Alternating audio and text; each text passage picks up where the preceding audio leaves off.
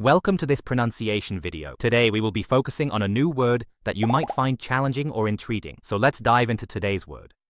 Jari, which means Gravel in Japanese. let's say it all together. Jari. Jari.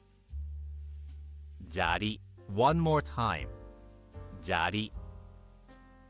Jari. Jari. Thank you for joining us on this adventure in pronunciation. Remember, language is a journey, not a destination. Keep exploring, experimenting, and expanding your linguistic horizons. We'll see you next time.